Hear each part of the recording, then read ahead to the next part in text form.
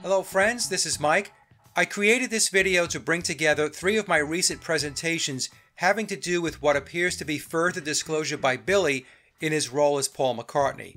The three presentations are Decoding McCartney 3, The Memoirs of Paul McCartney, and the third, Does Paul McCartney Time Out on February 21st, 2023. By combining the three videos, it will be easier to see the progression that I believe is taking place. Thanks for watching. Hello friends, this is Mike Williams. With this presentation, I will offer my thoughts and insights into Billy's new album McCartney 3, which was released on December 18th of 2020. I would like to thank those of you who forwarded me information which helped to compile this presentation. As is always the case with William, McCartney 3, especially the album art, is chock full of occult clues. I will also comment on the new Let It Be film by Peter Jackson, which is scheduled to be released in 2021. Before we move on, please note this presentation is about the Beatles and the McCartney conspiracy, so if this topic is not your cup of tea or it makes you upset, I highly recommend clicking the stop button and moving to content that better aligns with your beliefs about who and what the Beatles were and continue to be. For everyone else, Thanks for being here. Let's move to the first slide and begin the analysis. This article comes to us from the Daily Mail, and I call this the Kool-Aid version of the McCartney 3 backstory. It has very little to do, in my opinion, with the real motivations behind the release of the album. The article is titled Sir Paul McCartney Made His New Album in Lockdown by Accident. In this article, Billy tells us his 18th solo album, McCartney 3, was somewhat of a happy accident. He goes on to say he wrote and recorded it during lockdown earlier this year, and he didn't realize what he was creating when he did it, and says, I wasn't trying to make an album, so suddenly I had these 10 songs. I didn't know I was making an album. Well, I think there might be more to the story as we will soon see, but before we dive in, let's take a look at some fun, if not quirky, Macca moments. Here's an image of Billy posing for what is obviously a staged photo with his face wrapped. And part of his merch for McCartney 3 is a Macca mask for those that want to add a little fab to the ritual. This is an image that was sent to me by a listener, and I don't know if it's been doctored or photoshopped. Sometimes it's very difficult to tell. But whether the image is real or not, it is funny we see he's at a function and he has a name tag which says Billy. So I zoomed in on the tag, which you can see on the right, and there it is. And for good measure, I reversed the contrast to get another view. So welcome Billy to the presentation. Let's take a moment and set the table a bit before we get into the details. McCartney 3 is Billy's 18th solo album, and of course, 18 reduces to the number 9. Dice in its singular form is called a die. The three dots on the die can have multiple references, including the Trinity, the three sides of a triangle or pyramid, the three phases of the Beatles, and Billy's three personas comprised of biological Paul, himself, and the role he plays of Paul McCartney. The die is also a cube that has six sides and symbolizes Saturn worship and Luciferianism. Also, when we count the dots on the die's reflection, we get double threes or 33, representing the 33 degrees of the Scottish Rite of Freemasonry, as well as the numbers 6 and 9, where 9 is the number associated with Billy playing the role of Paul McCartney. And when we combine the name McCartney with the die, we get McCartney die, cluing us in that Paul is dead, and perhaps Billy is also hinting that he himself is reaching the end of his life. Let's move to the next slide and discuss the three phases of the Beatles. The first phase was the pre 1962 timeframe where Pete Best and Stuart Sutcliffe were in the band. This was the bar and club period where the Beatles were being prepped for the role Tavistock had them slotted for. This was a time when they were continuously playing live in order to strengthen their playing skills in preparation of what was ahead of them once they connected with George Martin in 1962. The second phase began in the latter part of 62 when Pete Best was replaced by Ringo as the drummer. This took place right before they signed with EMI Parlophone and began working under the tutelage of George Martin. This period had the lads learning the songs written for them as well as credited to them as they took the music on the road to a worldwide audience with major tours and generating the first seven albums, starting with Please Please Me and ending with Revolver in 1966. This period, which I refer to as the Bio Paul period, was a major deliverable in the psychological operations timeline as it established the Beatles as a worldwide phenomenon and putting Tavistock's social engineering agenda into overdrive. The third phase was the Billy era, and this part of the timeline was designed to focus solely on studio work as Billy kicks off the psychedelic period with Sgt. Pepper, which was released on June 1, 1967. As I have discussed in many other presentations and shows, the Beatles were Freemasons and immersed in Masonic occult symbolism. If we look at the lower left of the chart, I have an image of Stuart Sutcliffe going back to the Phase 1 period, where he is making a Masonic hand gesture, which I will explain in a moment. In the middle of the slide, we see the Phase 2 Beatles, where all of them are displaying the Masonic lion's paw, a symbol which refers to personal transformation and spiritual enlightenment within the teachings of Freemasonry. The Beatles' 1962 through 1966 Red Album and the 1967 through 1970 Blue Album are representative of the Red and Blue Lodges of Freemasonry. Okay, so let's take a closer look at Stuart Sutcliffe's Masonic hand gesture and what is being symbolized. The symbol Stuart is flashing is the cube. The cube is a symbol of Saturn. Also, when we draw a line through the center of the die, we create two triangles and can make correlations to the alchemical symbols of the four elements, which are air, fire, earth, and water, each of which has its own characteristics while also aligning to the signs of the zodiac. For the purposes of this discussion, I will focus on the meaning of the cube. The cube has six sides and in the occult represents Saturn, which is the sixth planet. The cube is also represented as a hexagon. When we connect the six points of a hexagon, a three-dimensional cube emerges.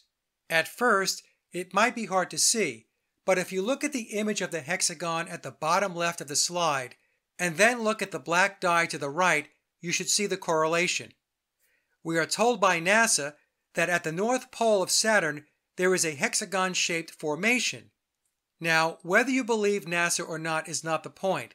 Instead, we should ask ourselves why is NASA, which was founded on occultism, showing us the hexagon? And what they are telling us is the hexagon is a cube, and the cube, or more specifically, the black cube, is a reference to Saturn. Saturn worship is associated with Luciferianism. This is why we see large black cubes across the world. The image on the right shows giant cubes on display in Australia, Denmark, Manhattan, and Santa Ana. Why is this? It's because Saturn worship, or Luciferianism, is the spiritual belief system and ideology of the controllers.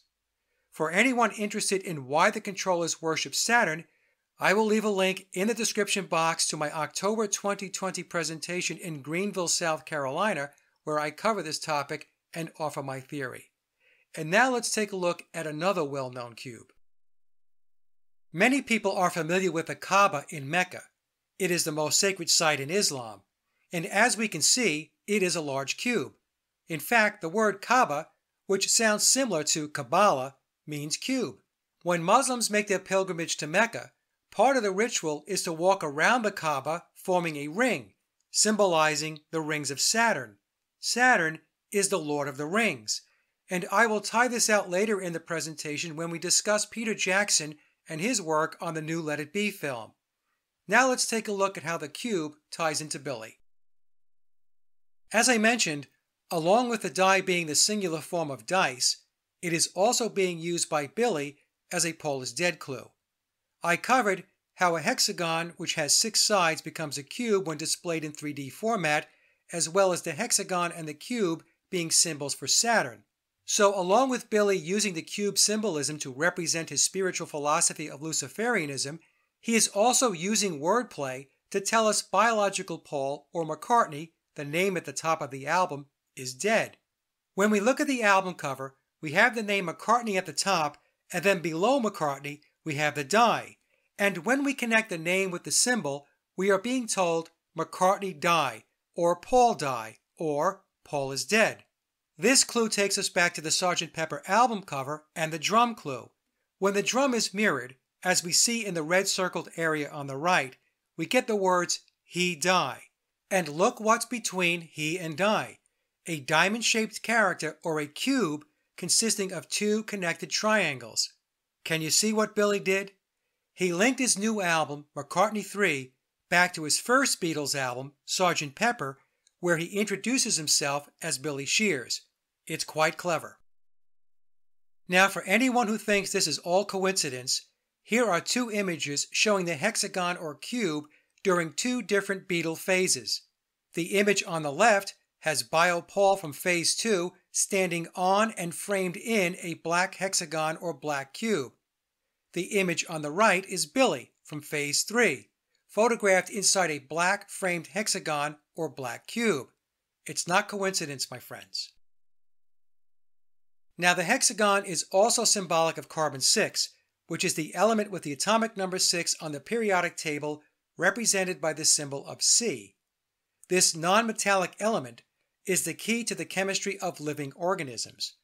Carbon is the basis for organic chemistry and the second most abundant of the 11 elements found in the human body after oxygen. So the hexagon, or the cube, is also representative of life. Please note the upper right image, where we see the Star of David, which is created by bringing together two overlapping triangles, which forms a six-pointed star, and six smaller triangles with a hexagon in the middle. It should also be noted that when we add the atomic number 6 to the letter C, which is the third letter in the alphabet, we get 6 plus 3, which equals 9. Since the world is run by occultists, everything the controllers display and present has occulted meaning. We know that Islam via the Kaaba and Judaism via the Star of David have the cube embedded in their religions, but what about Christianity? Well, here we can see when we unfold the cube, it forms a cross. Now that we have a better understanding of the cube, let's circle back to the McCartney 3 album cover. When analyzing the album art, I noticed the numbers 3, 6, and 9 are very prominent. There is a quote attributed to Nikola Tesla that says, If you only knew the magnificence of the 3, 6, and 9, then you would have the key to the universe. Obviously, the title of the album itself, McCartney 3, and the die with three dots represents the number 3. But the die is also a cube and symbolizes the number 6 because it has six sides. We also find the number 6 by adding together the three dots on the die to the three dots in its reflection. We get the number 9 from the name McCartney, which contains nine letters. For anyone who has followed my work or read memoirs, you know that when Billy's playing the role of Paul McCartney, he's about the nines.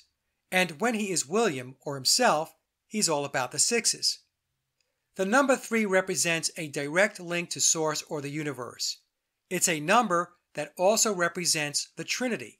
6 represents the strength within ourselves and is also the number of man. 9 is in accordance with moving on from the past and experiencing transformation and change. 3, 6, and 9 are also fundamental to vortex math, which is a theory that posits these numbers represent a vector between the third and fourth dimension.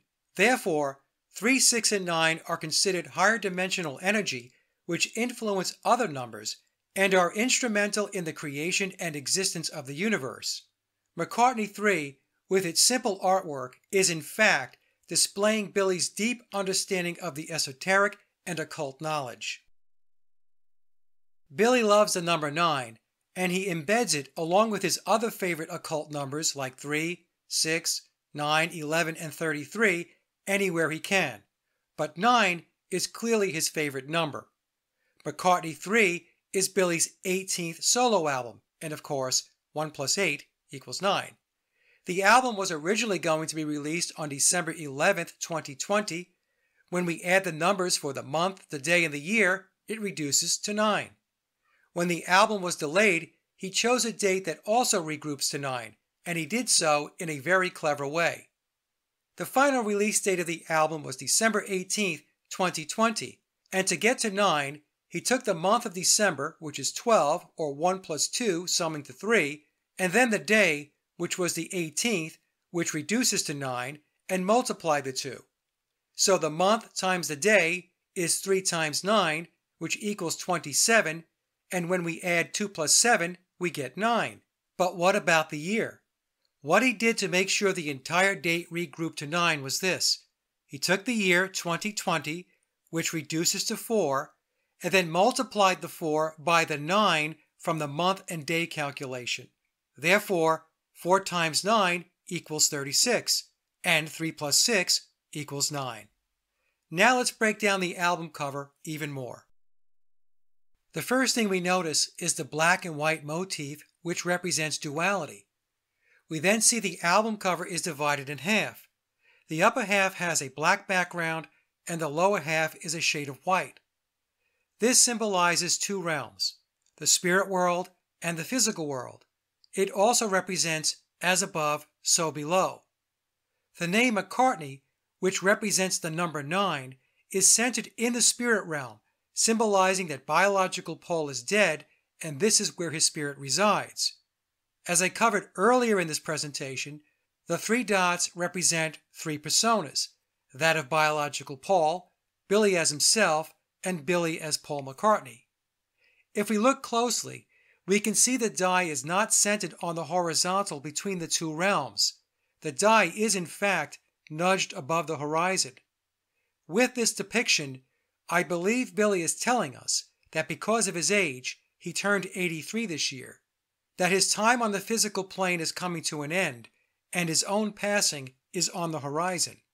The die, which represents a cube, the hexagon, and Saturn, and symbolic of the number six, represents Billy, since he tells us in memoirs he is all about the sixes.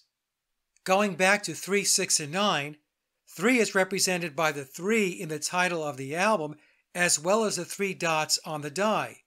6 is represented by the cube with its six sides, and of course the name McCartney contains nine letters. When we put it all together, we have 3, 6, and 9. The mirrored die also represents double threes, which is symbolic of 33, or the 33 degrees of the Scottish Rite of Freemasonry. We can also add the threes from 33 and get 6, or multiply the threes and derive 9. As we can see, what appears to be a simple album cover is loaded up with occult symbolism. Now let's take a look at the back of the album.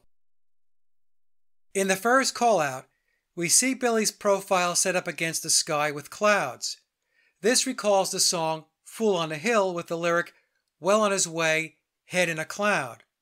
The song Fool on a Hill is symbolic of the Fool card in the tarot deck. Billy is the Fool on the Hill.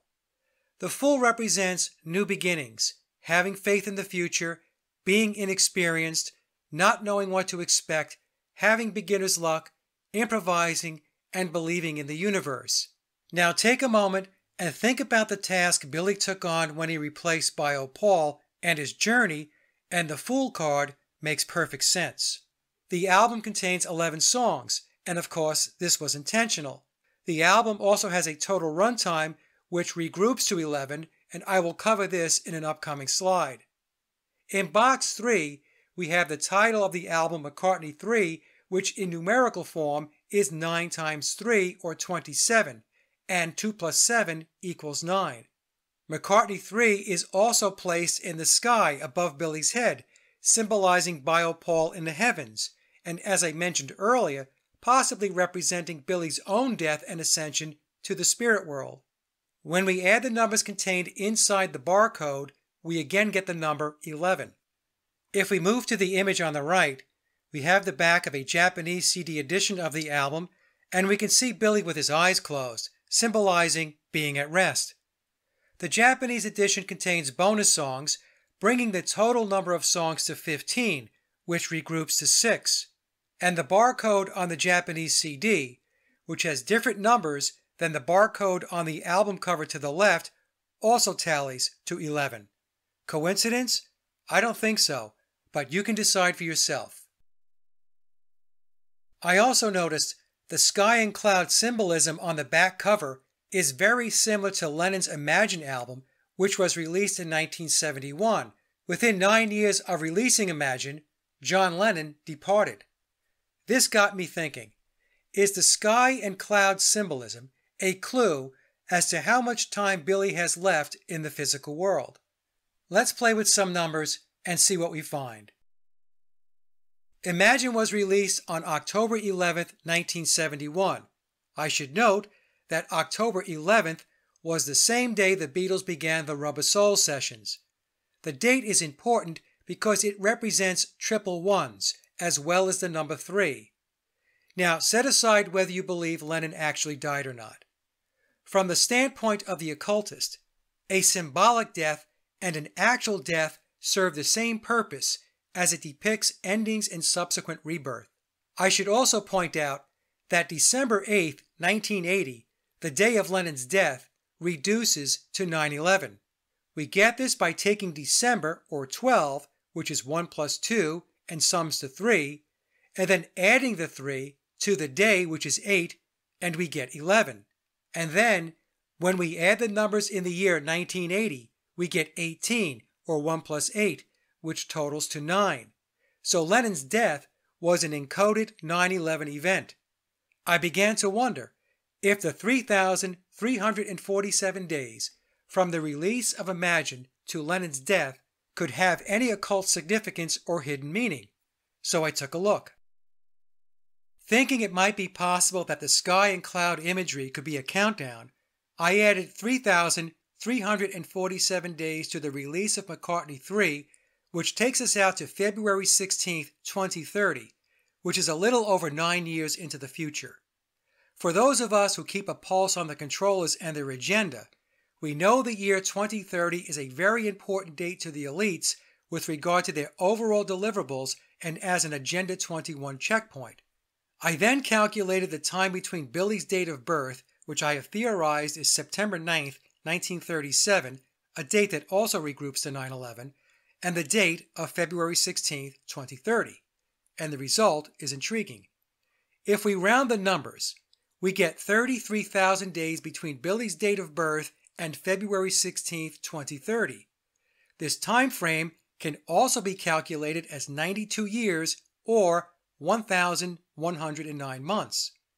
Since rounding is very common when we discuss age, I found it interesting that the calculations resulted in the numbers 33, 11, and 911. Now, this is not a prediction. It's a what if exercise I decided to run based on the sky and cloud symbolism on the back of Billy's album and the cover of Lennon's Imagine. I'm thinking there might be a correlation since nothing the controllers do is left to chance and everything they do is based in the occult.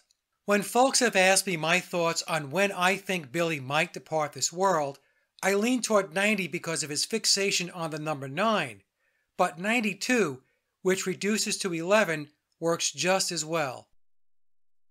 Here's a screen capture of a scheduled interview Billy did with Chris Rock. Notice how the time of 1145 reduces to 911 and how the date of December 17th regroups to 11. As I continued to examine the numbers, I took a look at Billy's McCartney 1, 2, and 3 albums and found some interesting results. If we look at the blue call-out boxes, we can see that all three albums have run times that reduce to 11.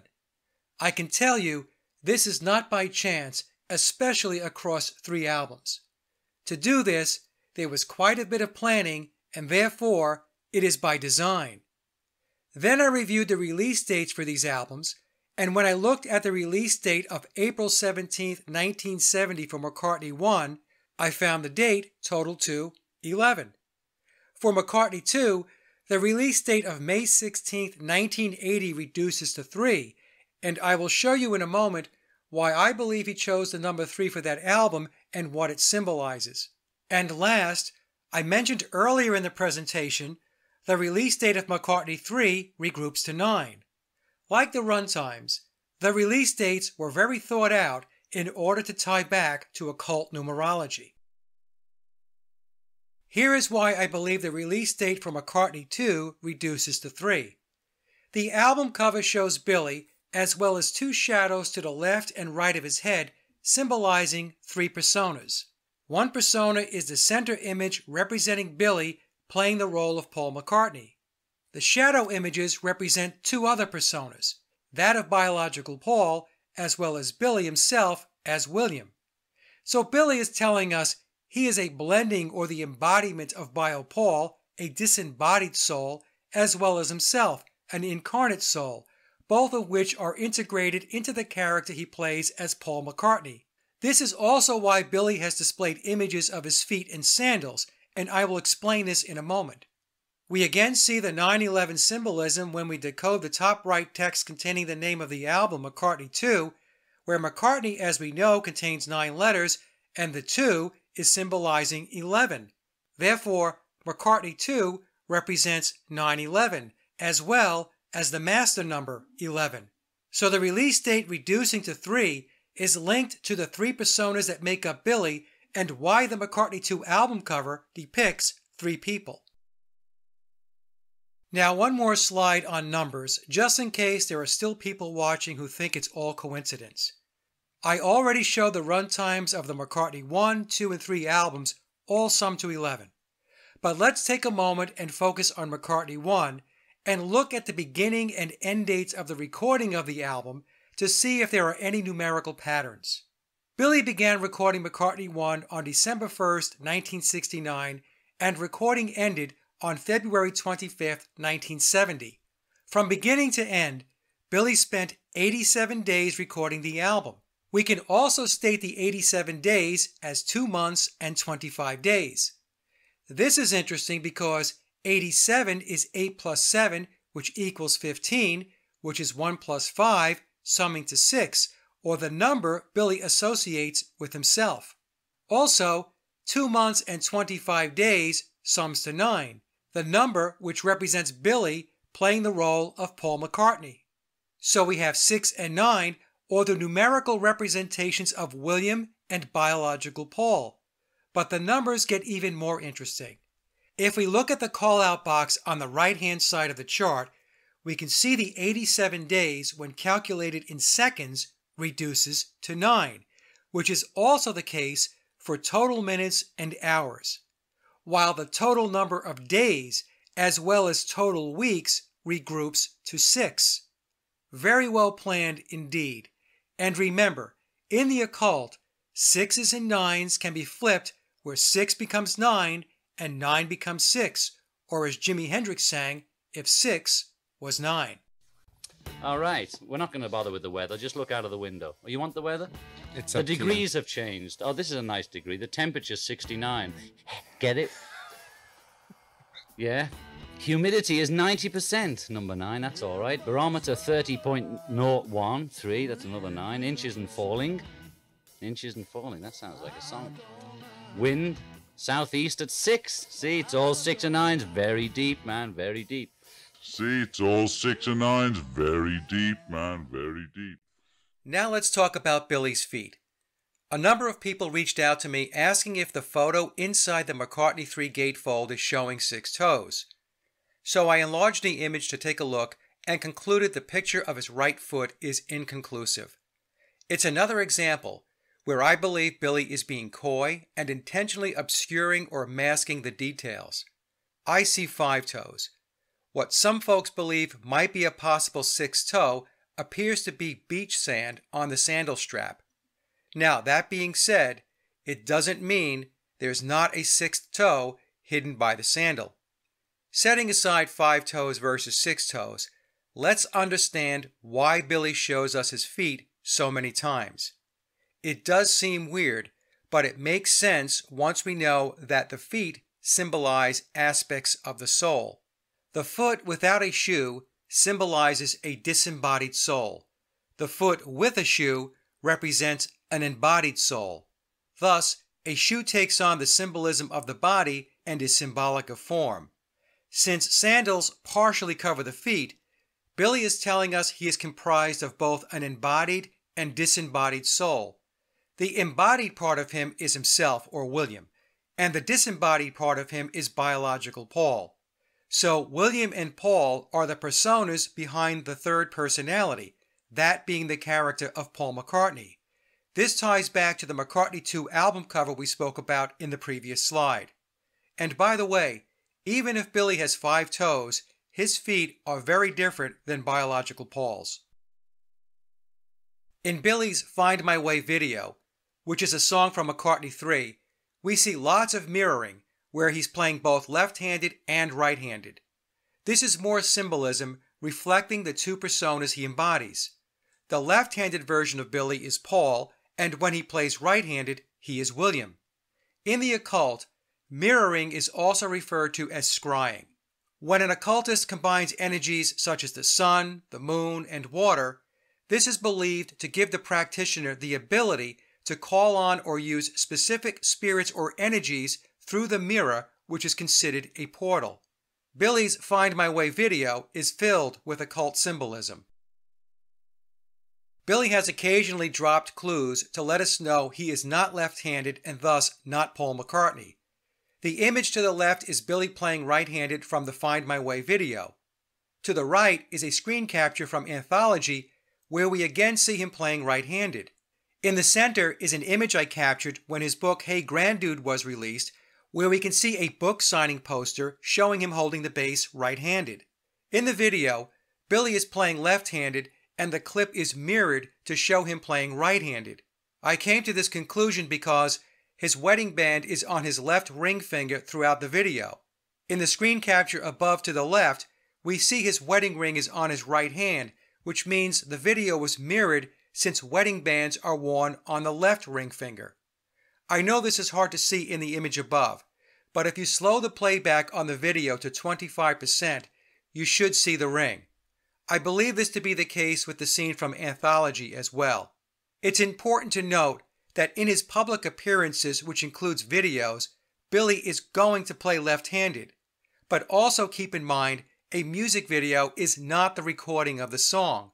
In memoirs, Billy tells us he records right handed. I had a person contact me who did work with Billy back in the 1980s. When this person walked into the studio, they found Billy playing his guitar right handed. My contact was curious at his ability to play so adeptly from the right side and asked him about it. Billy replied that since left-handed guitars were hard to come by in the early days, that he learned to play both ways. Of course, his explanation made no sense. All a left-handed guitarist needs to do is reverse the string orientation and then flip the right-handed guitar around so it can be played left-handed, just as Jimi Hendrix did. His response was as nonsensical as his explanation as to why he walked barefoot across Abbey Road on a hot day. We all know this story. He explained it was so hot that he took off his sandals. Well, if it was so hot, you would keep your sandals on, otherwise, you run the risk of burning your feet. The reason Billy was barefoot for the Abbey Road photo shoot was because he was supposed to be barefoot. And the reason he was playing right handed in the studio is because he is right handed. Here's another capture from Billy's Find My Way video. Here we see him inside the pyramid symbolizing his philosophy and allegiance. And we also have the left-handed right-handed mirroring once again. The pyramid image appears 42 seconds into the video with 3 minutes and 8 seconds remaining. 4 plus 2 equals 6 and 3 plus 8 equals 11. And when we multiply 6 times 11, we get 66, or the number of degrees that Billy tells us via memoirs that make up the Pyramid of Power. The image on the right has 25 images. When we add 2 plus 5, we get 7, which in the occult represents the number of the enlightened human. Let me take a moment and offer my opinion on the music and lyrics of the album. Now, what makes music resonate with someone is very subjective so what appeals to me may not appeal to another. So my words are not to be viewed as a review or critique of the music, it's just my personal opinion. I purchased the vinyl version of McCartney 3. I found the production of the album, including the pressing of the vinyl itself, to be excellent. In fact, the vinyl pressing is audiophile quality. Overall, I found the songwriting to be okay. Musically, nothing stood out for me, but it is a decent album. I do factor in that Billy is 83, and after 60 or so years of performing, I feel compelled to cut him some slack. As an example, because of his age, his voice is not what it used to be, so I'm not expecting to hear vocals from his Wings days. So I try to set reasonable expectations. His performance on the album, if he did indeed play all the instruments, is very good. As I mentioned, there are 11 songs, and the lyrics are personal and introspective. He sounds like a man who is reflecting back on his life. The lyrics do not come across as down or sad, but thoughts coming from a man who, whether you love him or hate him, has had one unbelievable and colorful life. Some of the songs I found interesting were Long Tailed Winter Bird, where I believe Billy is alluding to the three personas I have discussed in this presentation. Find My Way, he includes a lyric where he walks toward the light. In the song Sliding, Billy tells us he is who he wants to be. The song Deep, Deep Feeling is very reflective. The song The Kiss of Venus is a reference to the morning star or Lucifer, and I liked Seize the Day, where the title itself is self explanatory. The last song, Winter Bird When Winter Comes, begins with the lyric, Must fix the fence by the acre plot, two young foxes have been nosing around. And this had some of us wondering if Billy is referring to the standing stone on his farm, with the two young foxes being John Lennox and his wife who visited the farm as part of Steve Farber's research into the stone. It's just a thought. So overall, I found the album to be enjoyable. Let's now move to the McCartney 3 summary slide, and then I will share some thoughts on the new Let It Be film by Peter Jackson. So, in summary, McCartney 3 is Billy's 18th solo album, and of course, the 18 reduces to 9. The McCartney 3 album art contains occult symbolism. There are Paul is dead clues but also clues suggesting Billy is preparing for his transition from the physical world to the spirit world. The die on the album cover represents a cube or hexagon and is symbolic of Saturn worship and Luciferianism, which is Billy's spiritual philosophy. The numbers 3, 6, and 9 are prominent, symbolizing higher levels of consciousness. The master numbers of 11 and 33 are also embedded. Billy's Find My Way music video is filled with occult symbolism. And the song lyrics from the album come across as personal, introspective, and reflective as Billy looks back on his life. Now let's take a look into the new Let It Be film by Peter Jackson. Many Beatle fans know that a new Let It Be film is in production, which is currently scheduled to be released in August of 2021. The director of the film is Peter Jackson, Here's a synopsis of his background, which comes from Wikipedia, along with my own commentary. Peter is a New Zealand film director, producer, and screenwriter. He is best known as the director, writer, and producer of the Lord of the Rings trilogy and the Hobbit trilogy. And back earlier in his presentation, I mentioned that Saturn is also known as the Lord of the Rings. Peter has the title of Sir Peter Jackson, which means he has been knighted. He has received the Order of New Zealand and the New Zealand Order of Merit, both of which are in recognition of outstanding service to the Crown, so Peter is clearly in the club. Jackson announced that he will direct a documentary film about the making of the Beatles' final album, Let It Be. And to add my own footnote, technically speaking, Abbey Road was the final Beatles album to be recorded. He's going to transform the footage with modern production techniques to display a new side of a period on the Beatles' history which is usually remembered as highly conflictual. The Wikipedia entry goes on to say that most, that's an interesting word, most of the footage used was originally recorded for the 1970 Let It Be documentary. The article goes on to say that the film is created around 56 hours of never before seen footage and 140 hours of audio made available to Jackson's team which is the only footage of any note that documents them at work in the studio. Now, isn't that an interesting sentence? It reads like they're saying This is the only content showing the Beatles actually working in the studio over the band's entire timeline from 1962 through 1969.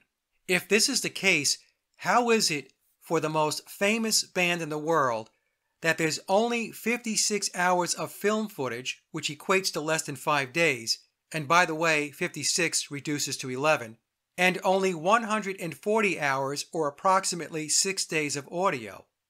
And that's the only footage that documents them in the studio of note? Personally, I would be far more impressed if someone showed me proof of their writing, rehearsing, and recording the Rubber Soul album, but we know that's not going to happen. Anyway, Disney acquired the distribution rights and the film is currently scheduled for an August 2021 release. So, what we have going on here, in my opinion, is an effort to buff up the fictional narrative of the Beatles and to rewrite history as a group of fun loving, lovable lads who always got along, even in the end. When in fact, the original Let It Be film captured the true atmosphere of the sessions and where the Beatles were at mentally as a band. In Memoirs, Billy tells us his relationship with the band had its ups and downs throughout his tenure starting in 1966. Also in Memoirs, Billy tells us it was him that pulled the plug on the Beatles. Yoko was not the reason.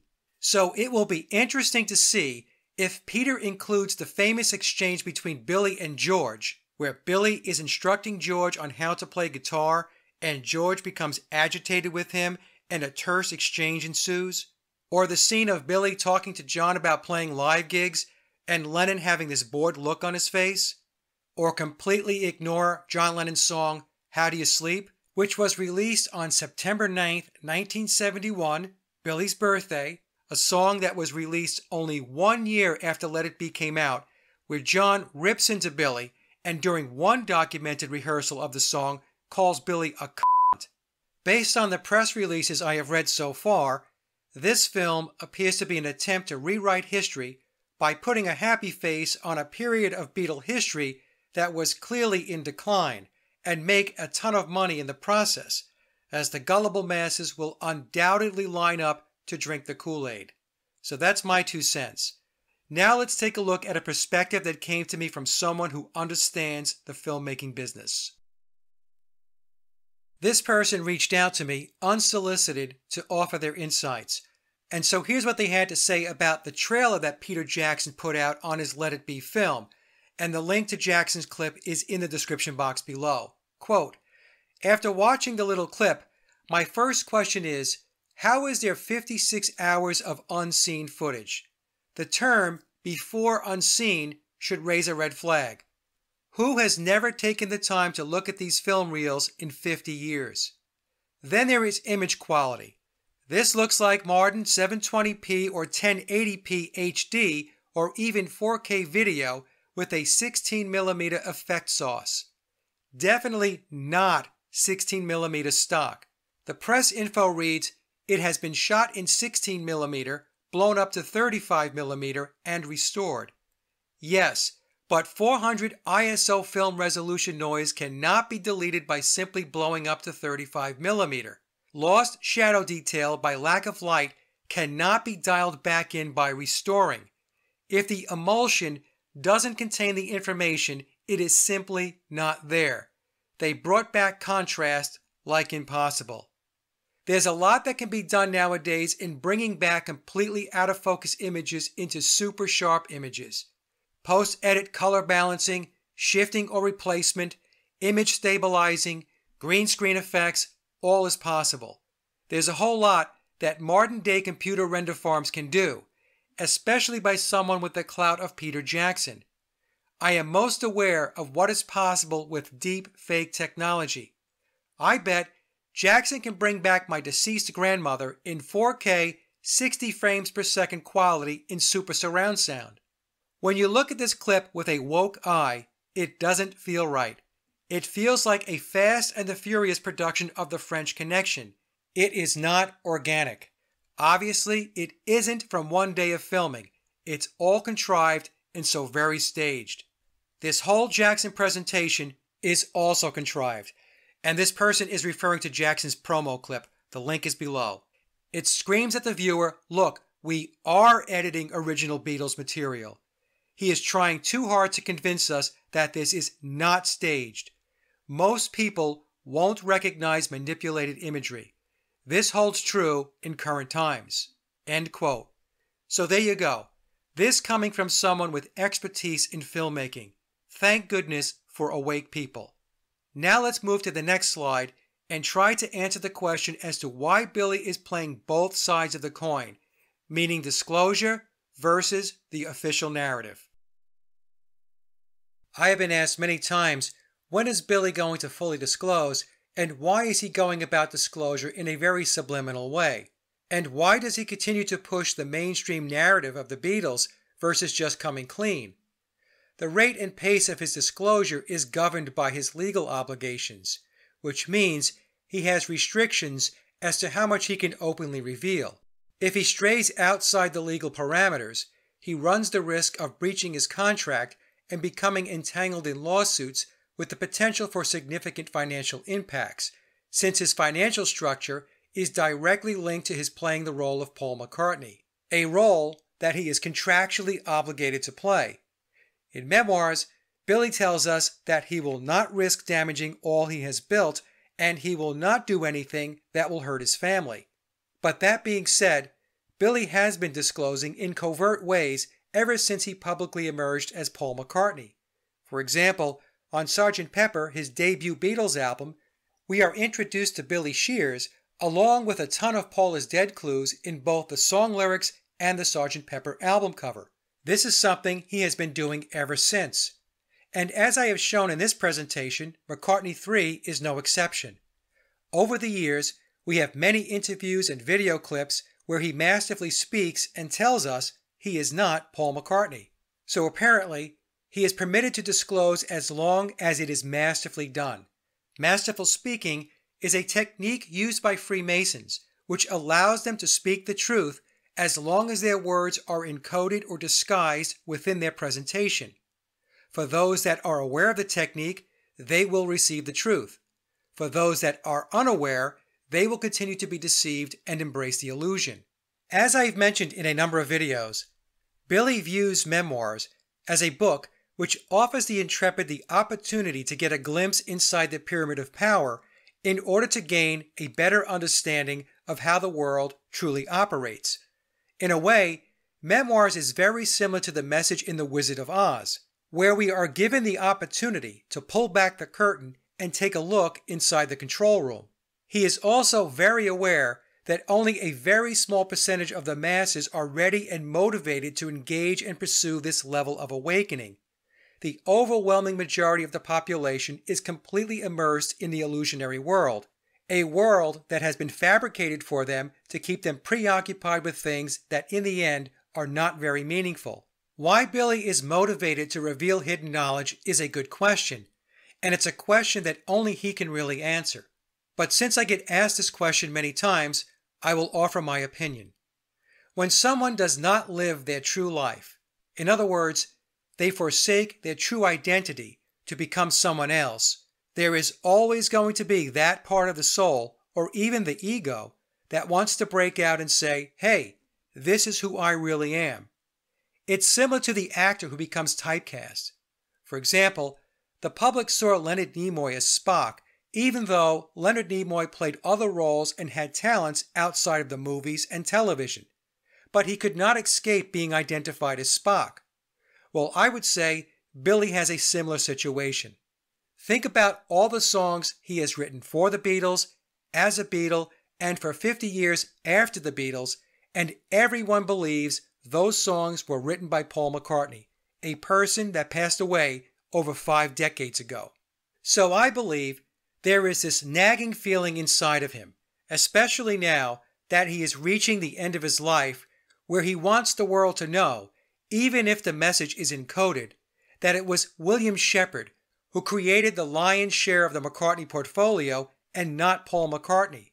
In other words, he is looking for the credit he believes he has earned and which, in his mind, is long overdue.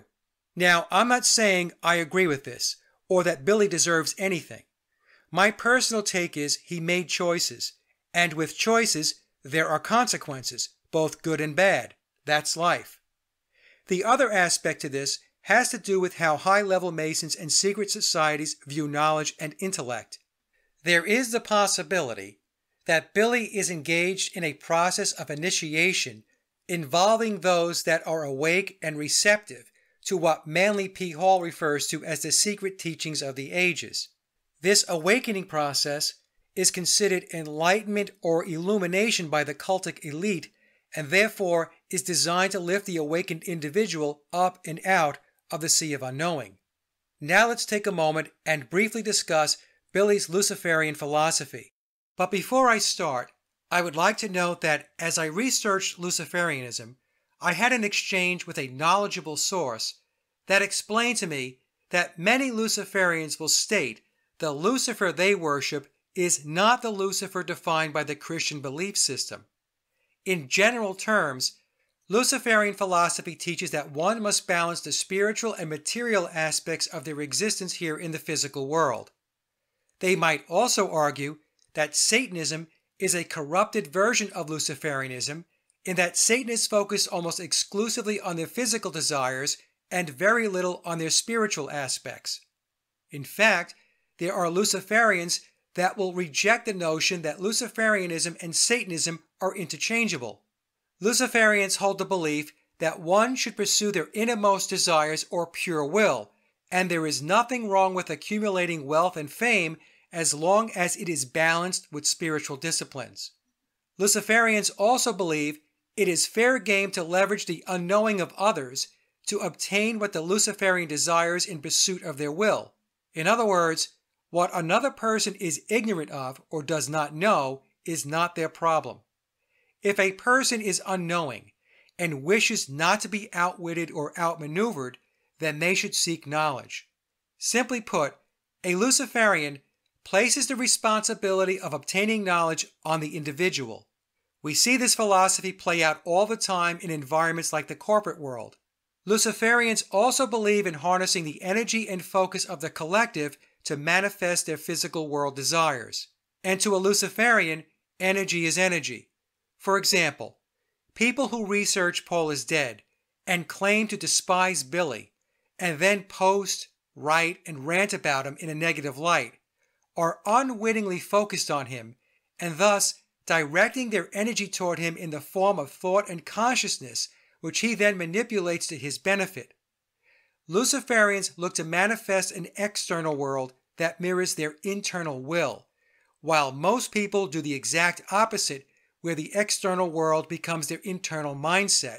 Luciferians will argue this is the reason why most people lead suboptimized and unfulfilled lives. Now, I'm not saying I agree or disagree with the tenets I just explained. All I'm doing is presenting what I have learned by researching the Luciferian ideology in order to gain a better understanding of those that control this realm. Since the Beatles are a monstrous cash cow for Billy, and Billy seeks to optimize his physical world ambitions, he will continue to push the fictional mainstream Beatle narrative because he benefits significantly from it. It goes back to taking advantage of the unknowing, which is represented by the 99% on the chart. Now, for those that are awake to the fiction, there is this initial energy that comes Billy's way because people are researching and investigating the conspiracy, like me or possibly you. But over time, the benefits to Billy decline as people who learn the truth begin to spend less of their energy focused on the Beatles and on Billy. For example, I have cleared out much of my Beatle collectibles, and even though I still appreciate the craftsmanship and production of the music, I spend very little time listening to Beatle music these days because for me, the luster is gone. There was a time when I would be anticipating the release of the new Let It Be film by Peter Jackson, but today I can care less. The worship is gone. Many people have written me and expressed the exact same feelings. Even books on the Paul is dead topic are not lucrative endeavors because it is a niche topic. What makes it niche is the fact that the overwhelming majority of the masses are unwavering in their worship and immersed in the illusion. So, from a purely financial perspective, Billy's time and energy is better spent promoting the mainstream Beatle narrative since it has an overwhelmingly better return on investment, and it's an area where he can harness far more of the collective consciousness that is maniacally focused on him. So I would argue that his disclosure process, as underground as it is, contributes to the balancing between the spiritual and material aspects of his life in the physical realm. In other words, his physical gain comes from the official narrative, and his spiritual offset is disclosure. Some might think of it as a form of balancing karma. Spiritual or universal laws dictate that truth is an imperative, and a Luciferian, if I understand their tenets correctly, must balance those scales. And that concludes the presentation. But before heading out, I will leave you with an excerpt from David Lynch where he offers his insights on consciousness. And then I'll play an interesting clip from the movie Under the Silver Lake. As you listen and watch, look for a particular iconic instrument. It's a great truth drop. And then we will close with the song Ghost Rider from the band Famous Groupies, whose new release, the Furry White album, is filled with a splendid collection of wing sounding music. And I do believe Kirkcaldy and friends are telling us a little something. The link to their website and music is in the description box below. Thanks for listening. Thank you very much. It's good to be here in Boston, and thank you very much for coming here tonight. Hi. Hi. Yeah, I teach film, I make films. Um, I would like to know, I'm not a meditator. What does meditation, can you say anything about how meditation might connects to your creative process or to the might help the creative process of my students or myself? Yes, I can. Will you? Uh, yes, I will. uh, tonight's talk is consciousness, creativity, and the brain. And um, if you have a golf ball size consciousness, when you read a book, you'll have a golf ball size understanding. When you look out, a golf ball size awareness. And when you wake up in the morning, a golf ball size wakefulness. But if you could expand that consciousness, then you read the book, more understanding. You look out, more awareness. And when you wake up, more wakefulness. It's consciousness. And there's an ocean of pure, vibrant consciousness inside each one of us. And it's right at the source and base of mind, right at the source of thought, and it's also at the source of all matter. So, what does it all mean? Come and sit down. Here.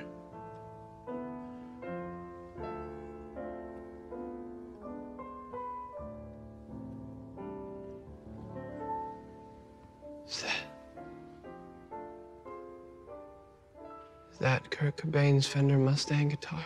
Oh, I don't know. Probably. I don't remember. I have so many things. Can I pick it up? Oh.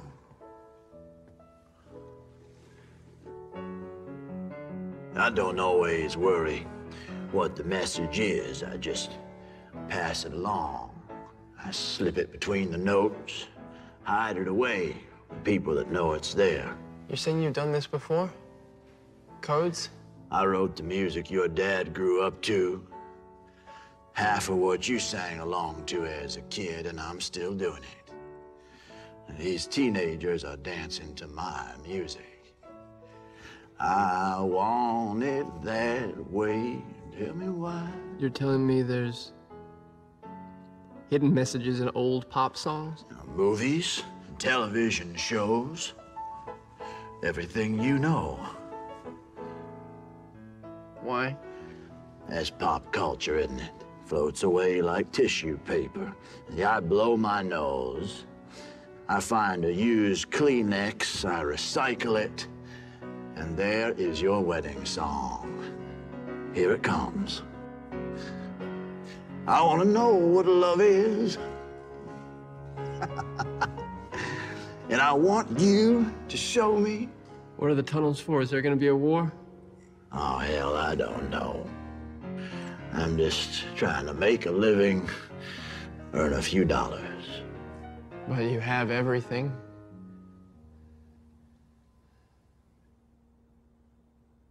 No.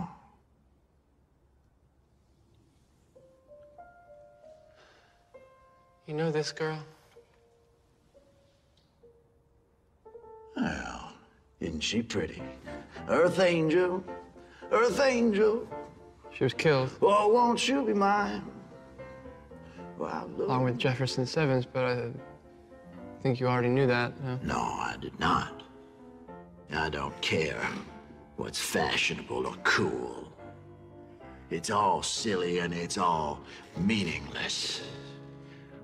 I created so many of the things that you care about. The songs that give your life purpose and joy. When you were 15 and rebelling, you were rebelling to my music. Uh-oh. That's one you know. that song was not written on distorted guitar.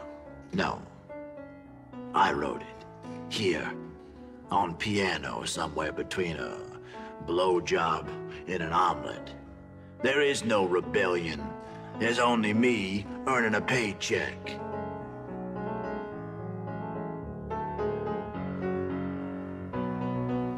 I don't believe you. Well, good. Because the real message was not meant for you. So it's better if you just smile and you dance and you enjoy the melody. Because this ugly old man, me, I am the voice of your generation. Your grandparents, your parents, and all the young people that follow you. I love rock and roll. Drop another dime in the jukebox, baby. oh, look at you. Everything that you hoped for, that you dreamed about being a part of, is a fabrication. Your art, your writing, your culture is the shell of other men's ambitions, ambitions beyond what you will ever understand.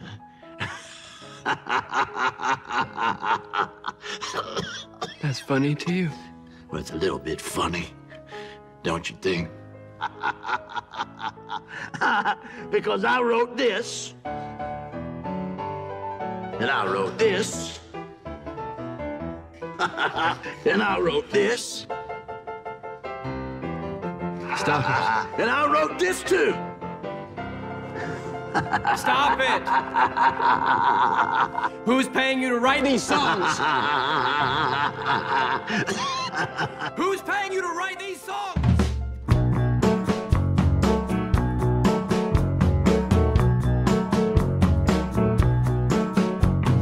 Hey, ghostwriter, write me another song. Go on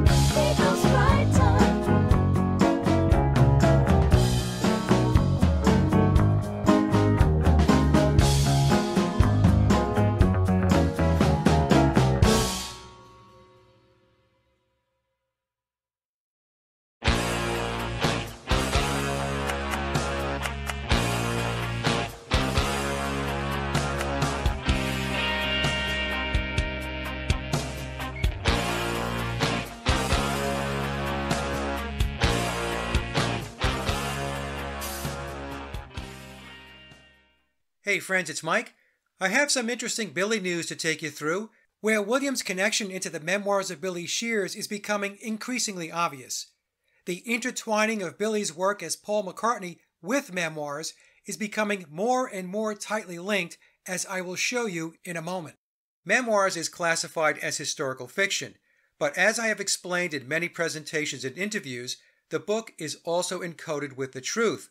And once you decode memoirs, the book reveals the truth not only about the replacement of biological Paul McCartney, but the Beatles as well. When the first edition of Memoirs came out in 2009, this was the version with the red cover, it was a bit cryptic and not nearly as straightforward as the second edition, the blue covered version, which came out in 2018 and contained a plethora of footnotes which were very revealing. And when the second edition of Billy's Back came out, which is the abridged version of memoirs, but still weighing in at 400 pages, Tom included additional footnotes which revealed even more about the Beatles myth, especially as to the authorship of the music.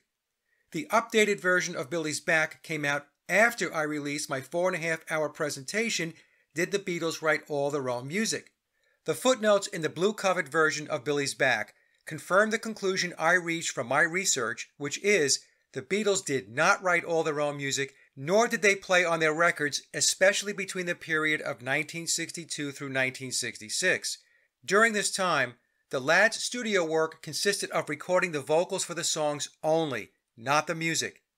And then, starting with Billy's Sgt. Pepper album, we begin to hear more of their own compositions, as well as John, George, and Ringo playing on the recorded tracks, although I believe outside songwriters and studio musicians were still being used through 1969, which would include Abbey Road and Let It Be. To record the instrumental tracks on the early albums, starting with Please Please Me through Revolver, George Martin employed studio musicians. This approach, which I refer to as the Wrecking Crew model, was the process used by the music industry throughout the 1960s and 1970s. The Wrecking Crew would record the music and then the artist would come in to lay down the vocal tracks. A great example of this is the Beach Boys and their album Pet Sounds. The Beach Boys did not play on that record. They came in to do the vocals after the instrumental tracks were recorded by the studio musicians. You can watch the Wrecking Crew documentary for free on YouTube. For those who have not watched my presentation, Did the Beatles Write All Their Own Music? I will leave a link in the description box below. My video, which was released a year ago on April 1st, 2020, and currently has over 130,000 views worldwide, and that number is probably closer to 150,000 when I take into account YouTube stripping out views, which I caught them doing a number of times. This is why I have uploaded the presentation to my other platforms as well. As a side note, the video was running for six months with no copyright issues until Universal Music Group who initially had no problem with me including a portion of Lennon's song God in the presentation, then turned around again after six months and decided to submit a copyright claim on the song, which shut the video down worldwide until I was able to replace the track with a copyright free song, which I did after a few days. I will argue this type of interference doesn't happen unless you venture too close to the truth. Now, the majority of this presentation is going to focus on the combined packaging of Billy's new book titled The Lyrics, which covers the period from 1956 to the present with the memoirs of Billy Shears. And the website we're going to look at that brings Billy's two worlds together is www.memoirsofpaul.com. And I'm assuming Tom was involved in setting the website up. I do have an email into Tom asking for his input. If he responds after this video is completed, I will include his response in the description box below. But before we get into decoding some of the information on the website, I want to cover a post involving Gregory Paul Martin, who is credited with the foreword in the current edition of Memoirs and who also did the narration for the audio version of the book. The post I'm going to show you goes back around six months ago. I was made aware of it soon after Gregory posted, but I decided at the time to wait before discussing it. I was asked back then what I thought was going on, so I'll take the time now to give you my thoughts and opinion. Now, as many of you know, Gregory Paul Martin is the eldest son of George Martin, and he wrote, or at the very least approved the foreword which kicks off the second edition of Memoirs, or the blue covered version of the book. So let's take a moment to read that foreword. When Thomas E. Uharriet first approached me about narrating this book, I was curious. I had no idea such a strong belief was still prevalent in the Beatles subculture that the rumor about Paul's death all those years ago was true. Exploring the possibility in the form of a novel seemed an intelligent way to address the subject, and the extent of Uharriet's knowledge of the subject interested me. As a gifted actor, I have a natural facility for mimicry. My version of Paul McCartney's voice came easily to me, especially since I have known him since I was five years old. I first met Paul in the winter of 1962, just a few months after my father, Sir George Martin, signed the Beatles to Parlophone Records. To record the memoirs, I thought it would be most fitting to use the original recording equipment that the Beatles had used at Abbey Road Studios with the help from my father and from engineers Geoff Emerick and Dave Harries. That equipment is now located at the prestigious British Grove Studios. On several occasions during the recording process, while sitting at the same equipment to record this book that the Beatles and my father had used for their vast catalog of songs, I felt I had become Paul. While this experience is a natural part of an actor's process, in this instance, with this subject matter, it felt uncanny. Is Paul dead? I leave that to you to decide. Meanwhile, in Paul's words, let me introduce to you the one and only Billy Shears. And that's the foreword by Gregory Paul Martin in the second edition of the Memoirs of Billy Shears. And here's a brief clip of Gregory doing the narration or voiceover for the book. Stuart was the first martyr. Assuming Paul's identity, dreaming of him, and feeling his presence, each reinforces the others. I stand for him and he for me. Part of each of us is in the other. Although I may say he died and I live, it is not entirely true. My own life as William was halted with Paul McCartney's fatal crash, yet he continued on through me. You might as well say Bill died and Paul lives. I'm not an impersonator in ordinary terms. Our exchange is mutual. Paul's spiritless remains mark the end of William's life now, to the extent that my living flesh embodies Paul's life. I am Paul. I am Billy. I have died. That is why I live as I do. Dreaming of him as myself, I dream particularly of that part of me that I miss growing up. It helps me understand who I am.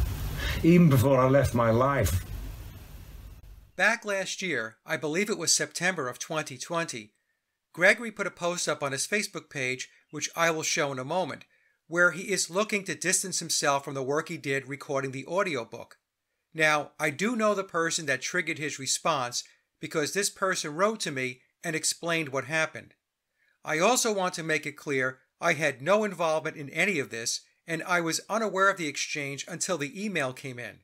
When I used to be on Facebook, I did not belong to any Paul is Dead or Beatles group other than a private group I used to run, which I archived a year ago. I just don't find these groups and forums very interesting. And I wasn't even aware that Gregory had a Facebook page. So the way this came about, as it was explained to me, is Gregory put some posts up about McCartney and was referring to him as Paul, and then the person commented, You mean Billy, right? And then added, Didn't you narrate the memoirs audiobook? Now I can see where this can be considered trolling, but I know this person and they are not mean spirited, and if I had to guess, they were having some fun by poking a little. And the fact is, Gregory did narrate the audiobook and he is credited with the foreword in memoirs. There is a certain level of interaction that goes with the territory when you engage a controversial topic as Gregory did when he approved the foreword and did the narration for the audiobook. I think his categorization of the person's comments being quote unquote abusive is a little over the top, but then again, how people feel is subjective. What I can say is if you want to understand abusive comments, you should read what I get periodically from the haters. You would not believe how vile some people can truly be. Of course, Gregory's response made the rounds, and I was asked if I thought Gregory actually believes Billy is biological Paul. And my answer is no, I do not. In my opinion, I find that premise hard to believe. So, with that backdrop, let me read Gregory's post, which was forwarded to me, and then I will share my thoughts. I am knocking this Billy Shears BS on the head once and for all. Tonight, I got a disrespectful, abusive message from one of those dingbats dumb enough to believe the insane Paul is dead urban myth that Paul McCartney died before Sgt. Pepper and was replaced in the Beatles by some fictitious character named Billy Shears, and that the Big Mac attack we know and love today has been an impostor for over 53 years. This fresh lunacy is 100% caca. I spoke about it during the Q&A at the end of last Sunday's webinar on the astrology of the Beatles. I now realize that was not enough. To repeat, the reason I agreed to narrate Uharriet's bizarre memoirs of Billy Shears was that I was having a blast impersonating Macca on the internet when he reached out to me offering me a very decent fee to narrate his book. I enjoy narration and obviously know the subject like the back of my hand. I had no clue until I was half into the 18 hours of recording how loony the book was. By that time, I was knee deep into the project with a contract between us we had both signed. What else was I going to do except finish the daft job? I particularly regret setting up sessions for myself to record the text at Mark Knopfler's British Grove Studios in London. The manager is an old colleague of my father's. When he realized the preposterous nature of the book I was recording, he looked at me like I had a screw loose, like I was a wingnut who had just got out of the loony bin. And I don't blame him. Case closed. Now, we obviously have two diametrically opposing positions from Gregory. I personally find it very hard to believe that he did not know the full extent of what he signed up for when he agreed to narrate the book. Memoirs is still an underground book, meaning it is clearly not a mainstream read. So we have to ask ourselves how is it that Tom, who is the author slash encoder of a book which has limited mass exposure, since no book on the Paul is Dead topic is on any bestseller list, how is it that Tom was able to 1. connect with Gregory, who was a celebrity, and two, negotiate a deal to have Gregory narrate memoirs. This would be like me trying to contact him to come on my show and do an interview about his experiences regarding the Beatles and his father. The odds of that happening are extremely low. I might receive a polite form letter telling me no thanks, but getting as far as signing a contract is a pretty impressive play on Tom's part. And attorneys must have been involved to make sure the I's were dotted and the T's were crossed especially as it pertains to protecting the interests of Gregory. So, what I'm saying is there had to be a discovery and negotiation process that took place before closing on the deal. It's hard to imagine he would not have known the specifics of what the book was about, including the details of the content, which would include the darker chapters contained within memoirs. Chapters with titles like Masonic Checkmate, Stone to Hell, More Satanic Murders, and Paulism beg for explanation. If it were me, I would have asked, okay, is there something in these chapters I need to know about? And to say, it wasn't until 18 hours into the recording that he figured out what the book was about seems to be a bit of a stretch, but that's just me. So the question I asked myself was Is there more to this story regarding the About face? On one hand, Gregory presents a glowing foreword for the book as well as agreeing to do the audiobook narration, and then he's distancing himself with the Facebook post. If I go at this from my own experiences on this topic, I can tell you that this research is highly controversial and can be extremely toxic. The level of hate that comes your way if you discuss or present the Beatles in a way that conflicts with the official narrative is beyond most people's comprehension. It gets very ugly very fast. The Beatles are a religion to millions upon millions of people. I get attacked by people within the Paul is Dead community because I dare to present a narrative that does not align and conflicts with the beliefs and dogma of ideologues. So, if this kind of toxic behavior plays out within the Paul is Dead community, imagine a reaction from people who have no clue about the conspiracy and then find out George Martin's son wrote or approved the foreword of a book that unravels the Beatles' official story. And to top it off, he also did the voiceover for the audiobook. So perhaps Gregory experienced unanticipated blowback and it started to get uncomfortable. In other words, he found himself in a position where he was confronted with questions about his role in Memoirs, a book that questions the very core of so many people's belief that the Beatles were gods. And of course, an argument can be made that he should have expected at least some level of negative press, but trust me, having been in this space for five years now, when you first get into this topic, there's no way of knowing the magnitude of the vitriol that ensues. Being thought of as a Paul is dead conspiracy theorist doesn't help in the public relations department, especially when your father is George Martin, who is often referred to as the fifth Beatle. And again, these are just my thoughts on possibilities. I could be completely wrong, and maybe there are very different reasons for what happened. For example, maybe this is all part of the Masonic concept of duality and opposing forces, as in, you say yes, I say no, you say stop, and I say go. Or maybe it's as simple as controversy sells books. And with that, I'll leave it there and let you decide. Okay, so let's move on now and take a closer look at the website, The Memoirs of Paul McCartney. Here's the homepage of The Memoirs of Paul McCartney. At first glance, it's straightforward and nothing flashy, but there is a ton of symbolism being shown, starting with the white print on the black background representing duality and the green and red color coding of the box sets, which I will explain in an upcoming slide. And there is, of course, numerology associated with the titles of the books. Let's read what the homepage has to say. I highlighted some of the wording, which I will get into in the next few slides.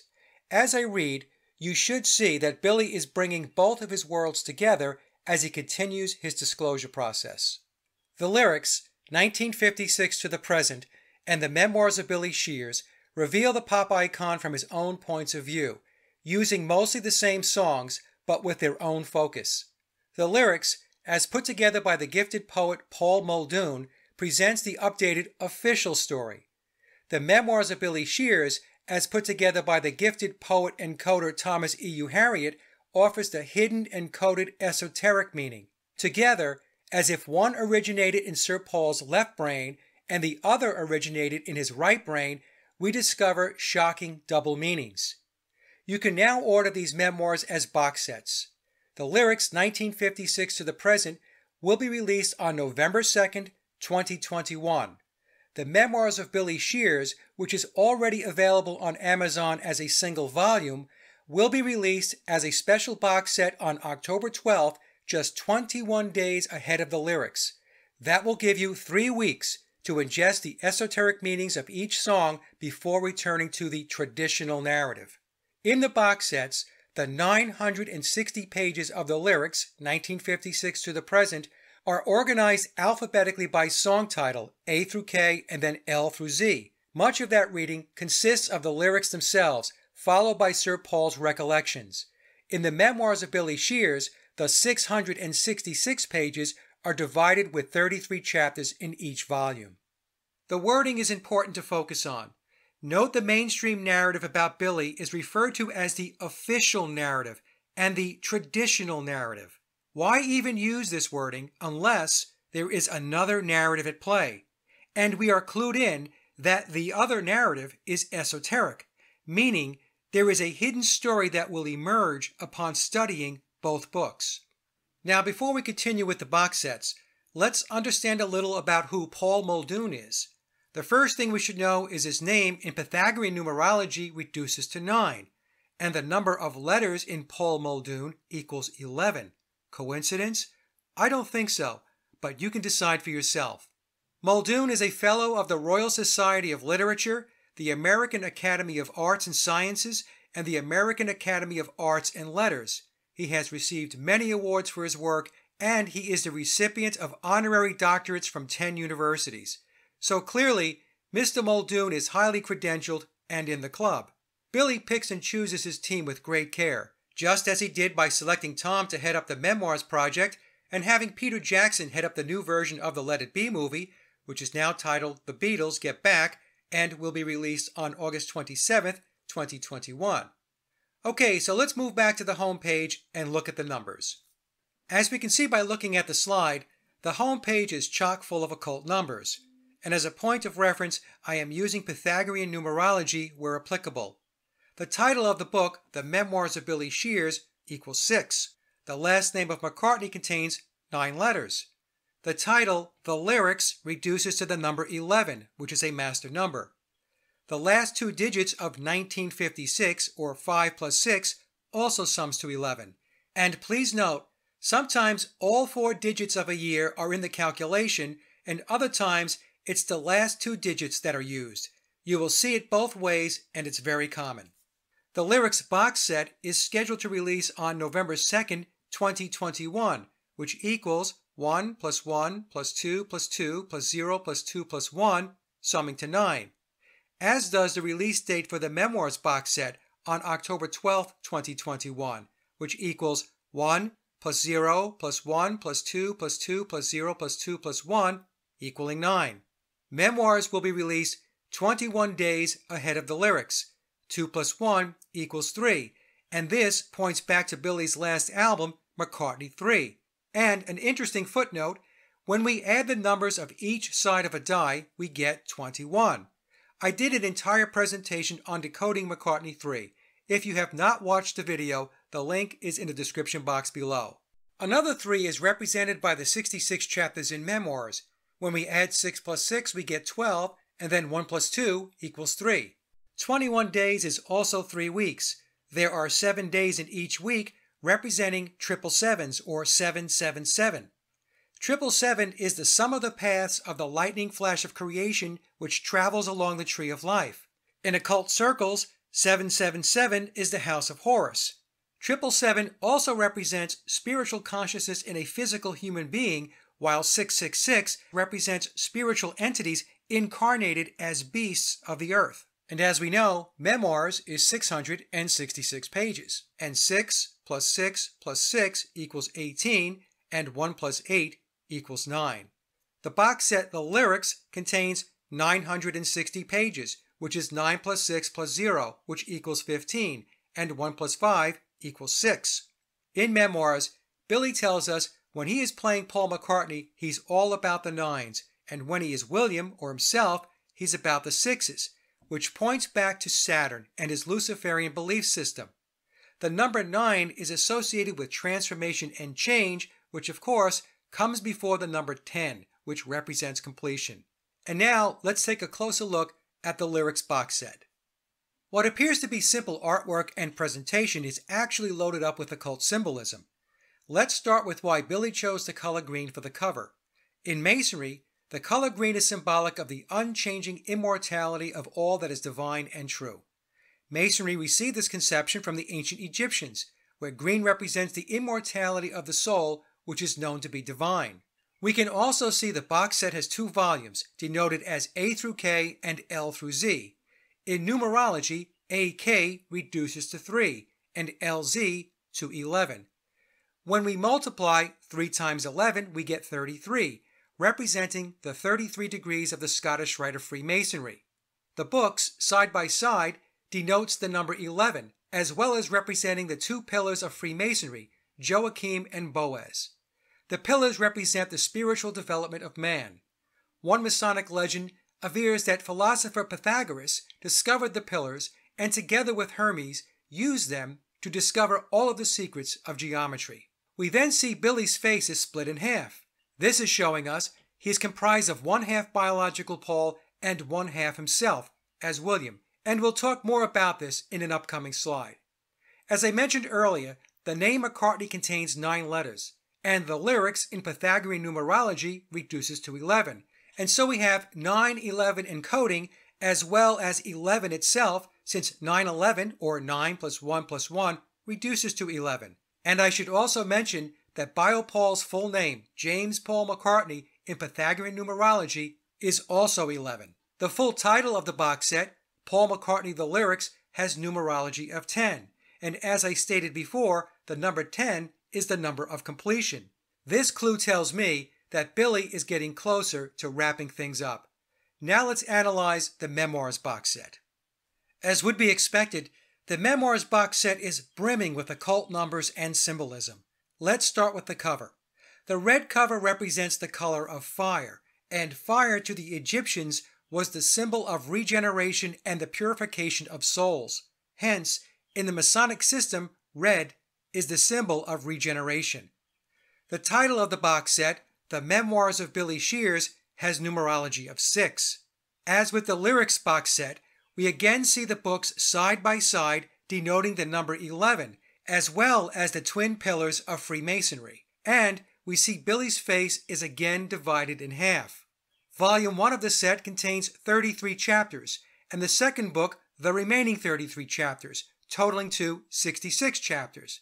33 can also represent 3 plus 3, which equals 6, as well as 3 times 3, equaling 9. The 66 chapters can be viewed as 6 plus 6, or 12, which takes us back to 3, and the number of dots on the die on the cover of Billy's McCartney 3 album. The Memoirs box set is especially focused on the numbers 3, 6, and 9, which are considered to be powerful numbers in the creation and existence of the universe. Now let's shift back to the image on the home page and see if there are any more occult clues. The image on the home page shows Billy in the middle between the two box sets. As we now know, the box sets are representative of the twin pillars of Freemasonry, Jachin and Boaz. Billy being positioned in the center with one box set to his right and the other to his left is depicting enlightenment. Between the pillars is the path to illumination, but first, we must learn our lessons by walking the path of duality, which is represented by the checkerboard floor. Also, note how each pillar contains the red and green colors. With the Masonic symbolism that Billy constantly presents, he is telling us that his work with the Beatles, as well as his solo career, is in support of human enlightenment. Although this philosophy has been in place for a very long time, going back to the Egyptian mysteries, the modern era version emerged in the 1960s with the Human Potential Movement, which became the Aquarian Conspiracy and then morphed into the concepts of the New Age movement. I explain these movements in greater detail in my presentation, Did the Beatles Write All Their Own Music? The link is in the description box below. It's important to note that there is a subset of memoirs called Beatles Enlightenment. From Tom's website, billyshears.com, we are told Beatles Enlightenment contains selections from the memoirs of Billy Shears that are too philosophical or spiritually esoteric for the general readership of Billy's back. If you enjoy books by illuminaries such as Deepak Chopra, Wayne Dyer, Ram Dass, or Marianne Williamson, you will love reading some of their favorite concepts behind Beatles songs. Now, I'm not saying what Billy is involved in or what he supports or believes is good or bad. That is something that is up to each of us to decide. I'm simply presenting my research and interpretation of the meaning behind the symbolism. Symbolism he has been presenting for almost 60 years. Now let's take a look back 40 years and see if Billy was giving us similar clues. At first glance, Billy's McCartney 2 album from 1980 appears to be unassuming.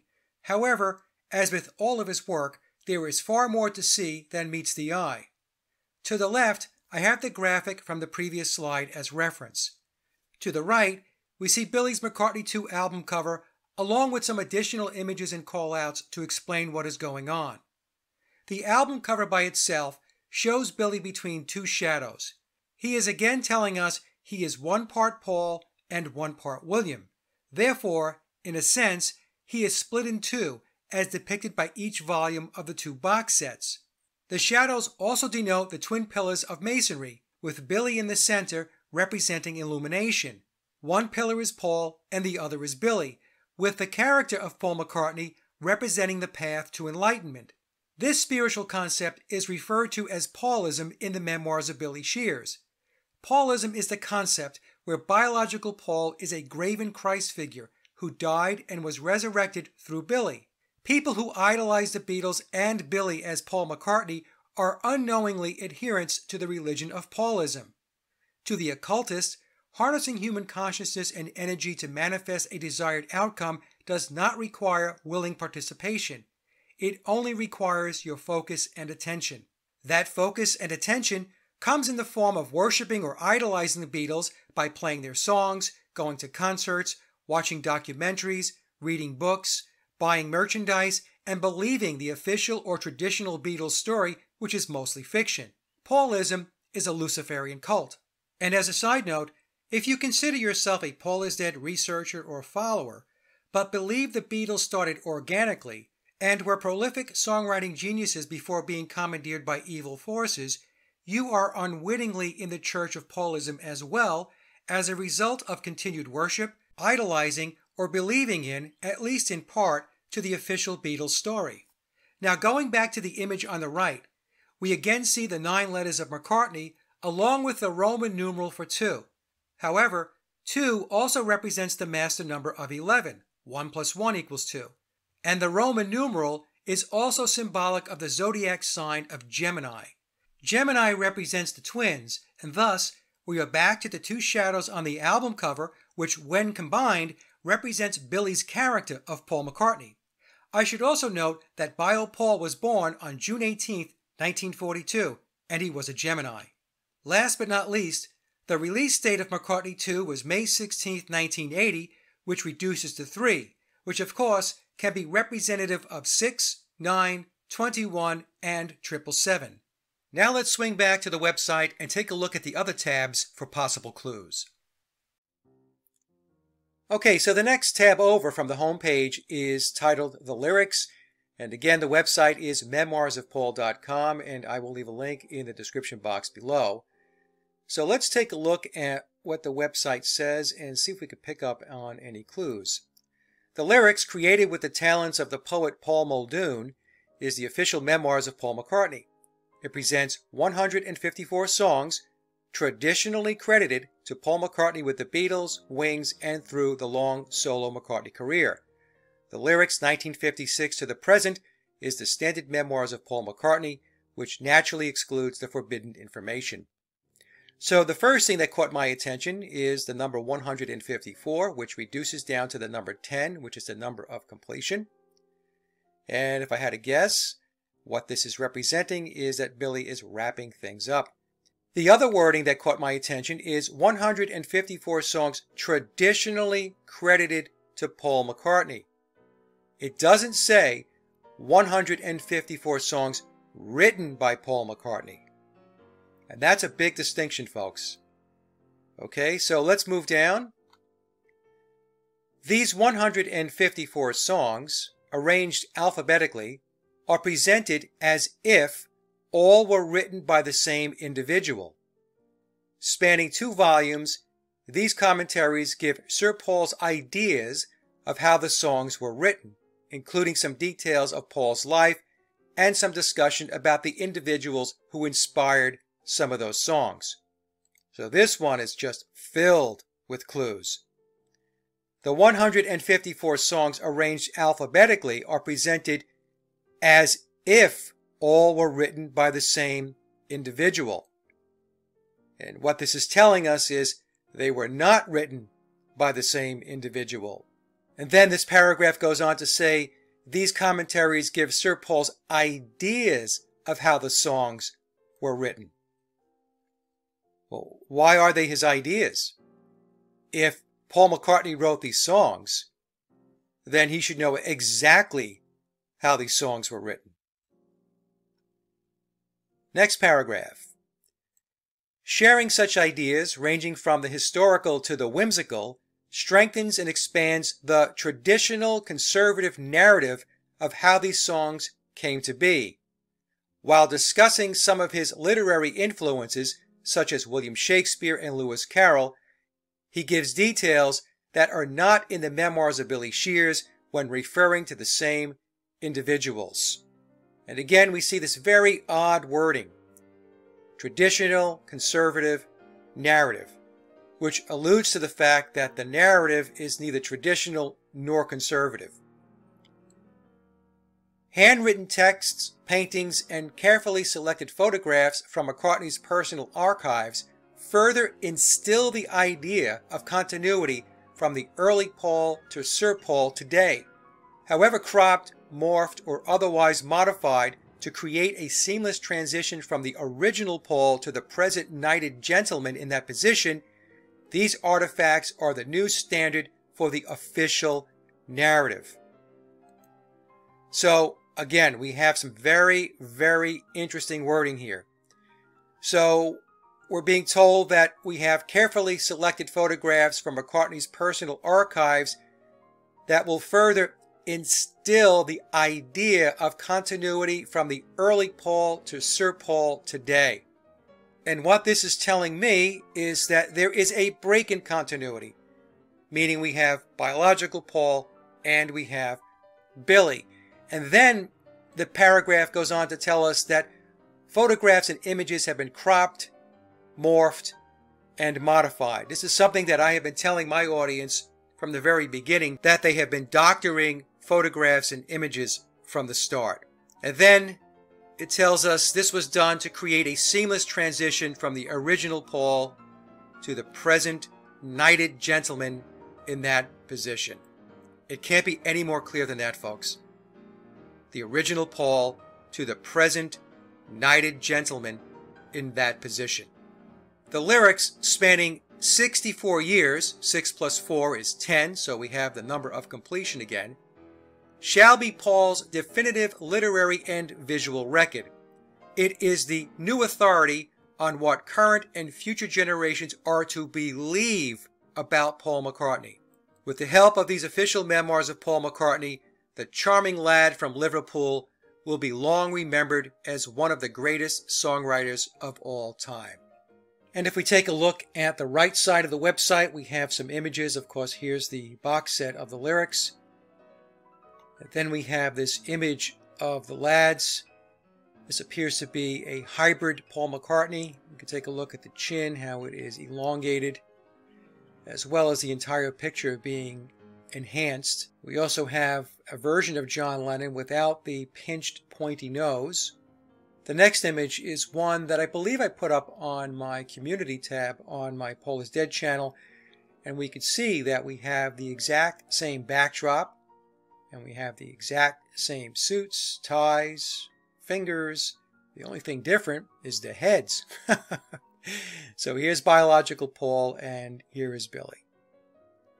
So that obviously was uh, done to point out that there are two people, at least two people, playing the role.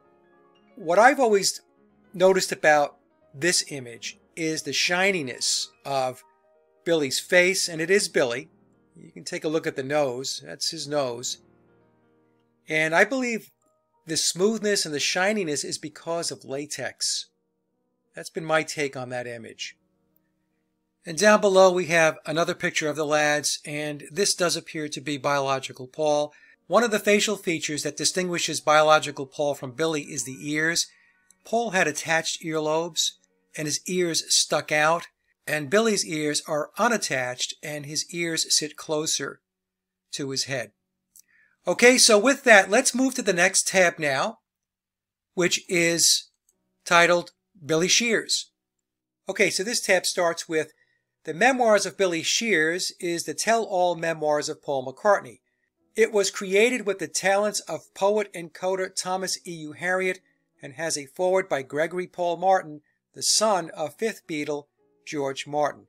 So this is interesting because earlier in the presentation, I took you through the controversy involving Gregory, and here we have the website openly promoting the fact that Gregory wrote the foreword to the memoirs of Billy Shears.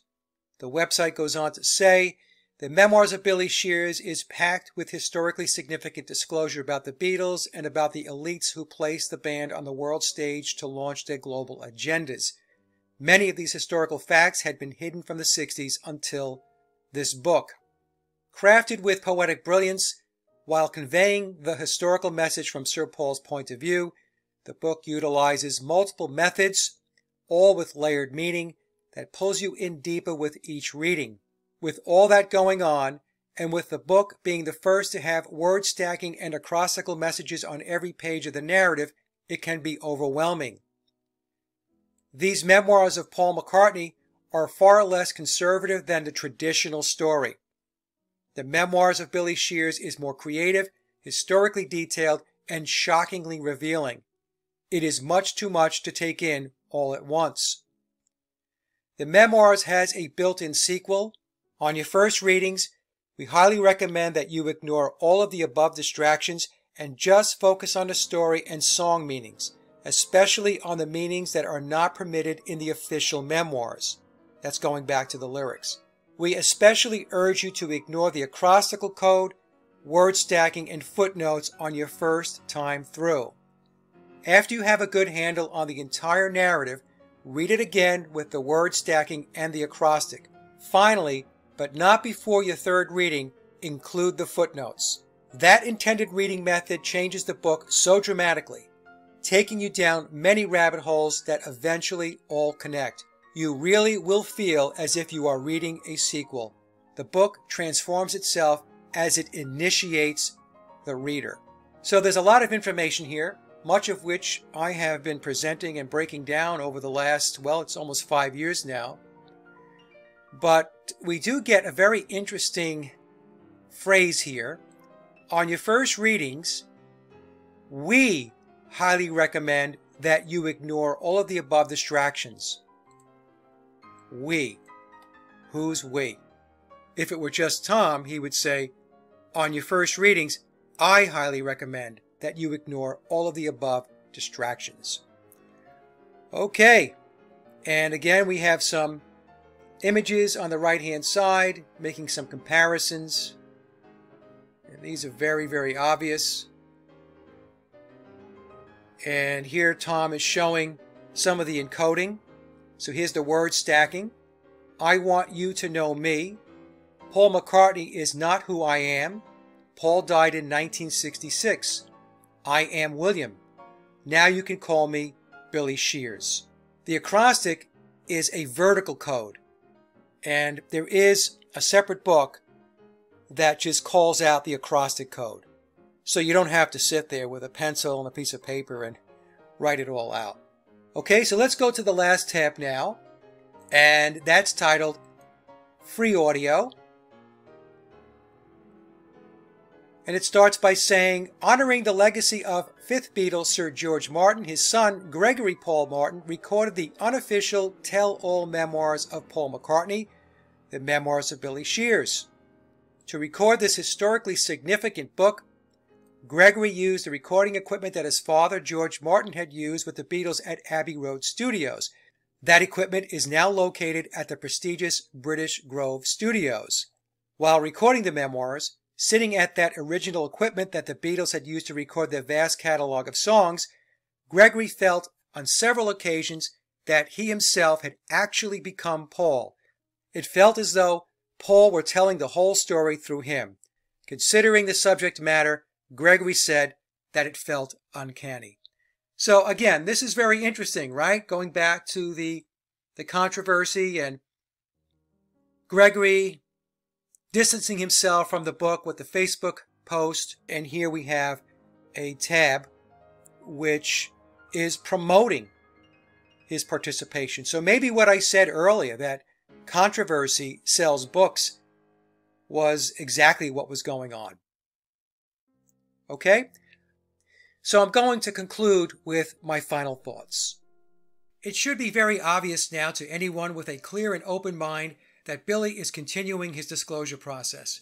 As many of you know, I was a die-hard Beatle fanatic, and then all of that changed when I read the original version of Memoirs and started to investigate the claims made in the book. And as time went on, and after decoding the layers within Memoirs, it became obvious to me the book was indeed telling the truth, both about the replacement of Paul McCartney and the true nature of what the Beatles really were a band manufactured by Tavistock with the objective to social engineer our culture and society in order to usher in a one world governance. More and more people are waking up to the realization that the Beatles, like the rest of reality, were and are a massive deception. The truth is, the lads were never organic and they were controlled from the very beginning. The notion of four working class scousers from Liverpool who were a bar and club band and then discovered by a small record store owner who got them signed to a major recording contract with EMI under the tutelage of George Martin, which then led to unprecedented fame and fortune, is fiction. It's a Cinderella story that people love to believe in, but it's simply not true. There was no organic, and they did not write all their own music.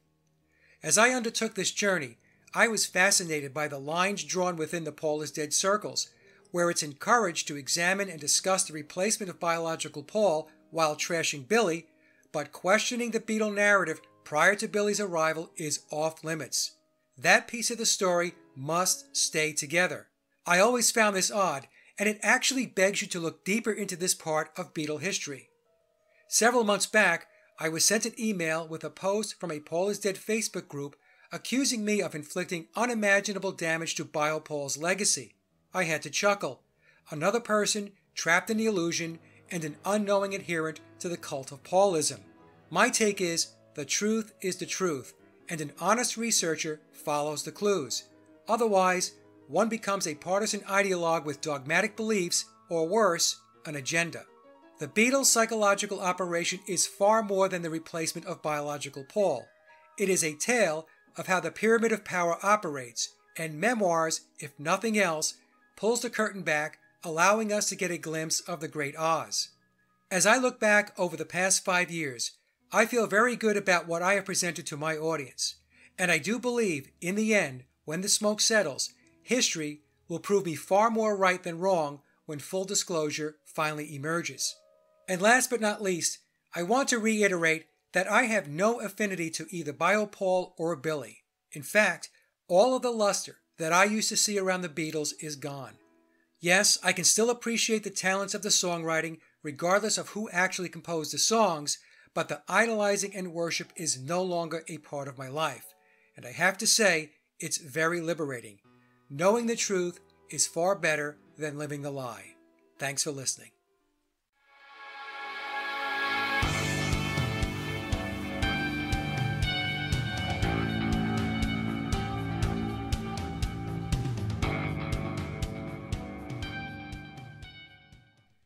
Hey friends, it's Mike. It is April 7th, 2021. And before I get started, if you are new to the McCartney and Beatles conspiracy and are lost as to what I'm presenting, there is a link in the description box below for a video I put together titled The Essentials of Paul is Dead.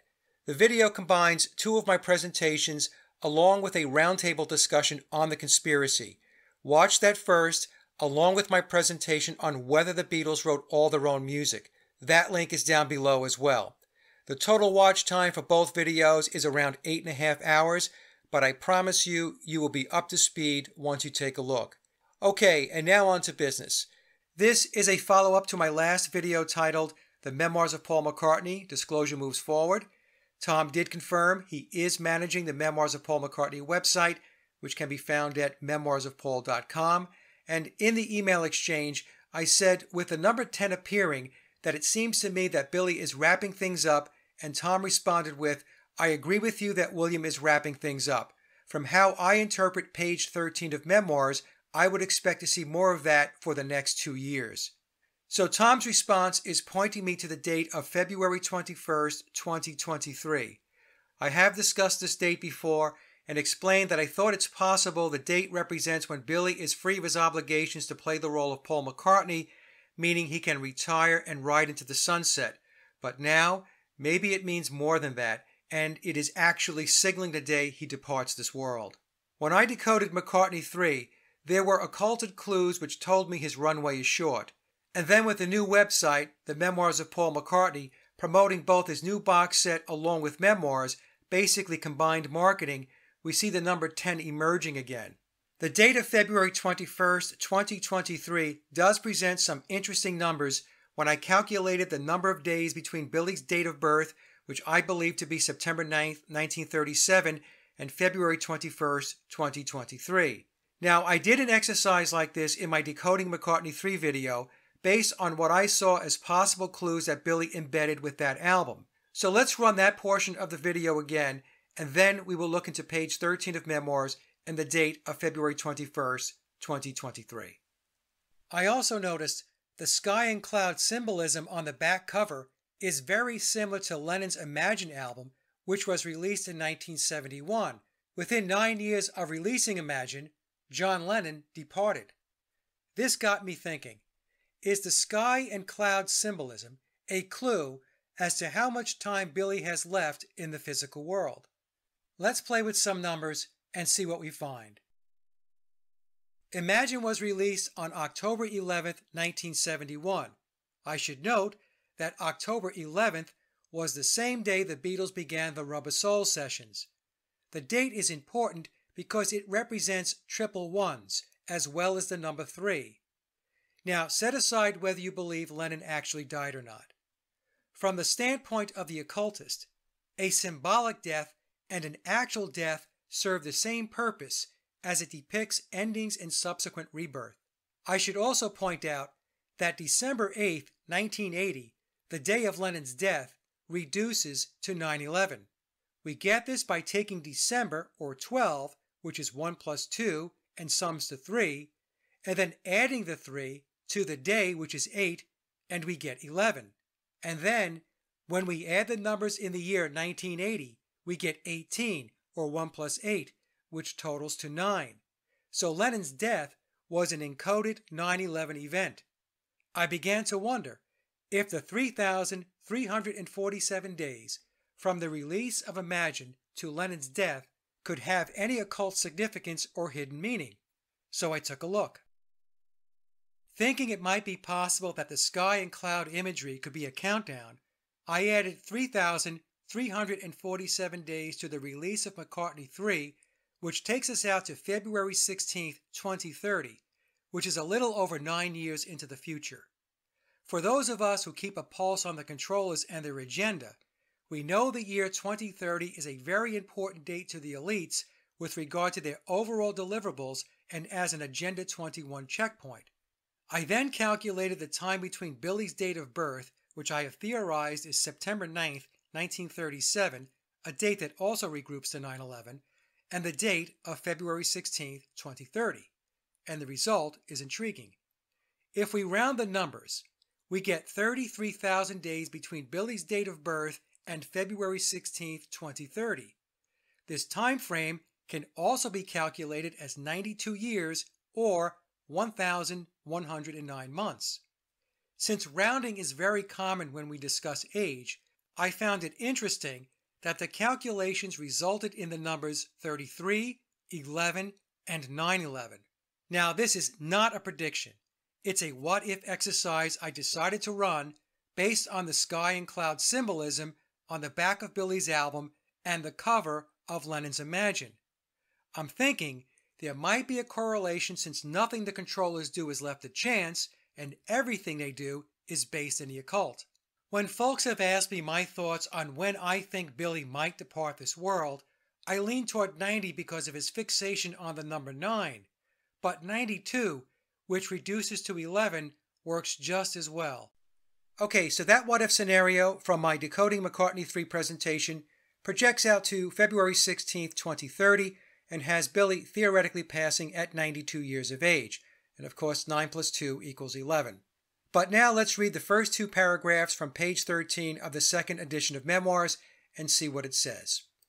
Almost everything about me taking Paul's place was made possible because of the series of dreams that Paul had, showing his death and me replacing him and my own dreams of Paul showing me how.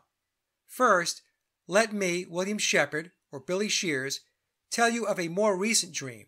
I want it told before I die so that you will know I knew. After discussing my undertakings in his name, Paul said, You will be released on the 21st of February 2014. I asked for a nine year extension for more tours.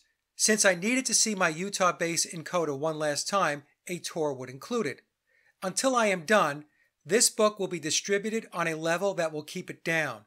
We will keep it underground until I am. Note in the last sentence, Tom wrote the word will with a capital W. Is this a nod to Crowley and do as thou wilt? Something to ponder. So the original date of when Billy was to be released, whatever released means, was February 21st, 2014. I thought release was when his commitment to play the part of Paul McCartney would end and he could retire. I was not leaning toward a date of when he would pass. By the way, if Billy had passed on February 21st, 2014, he would have been 76 years and 5 months. 7 plus 6 plus 5 equals 18, and 1 plus 8 equals 9. So it just continues to be very weird.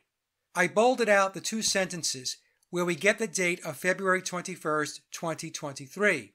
The original release date, per memoirs, was February 21st, 2014, and then he asked for a nine year extension.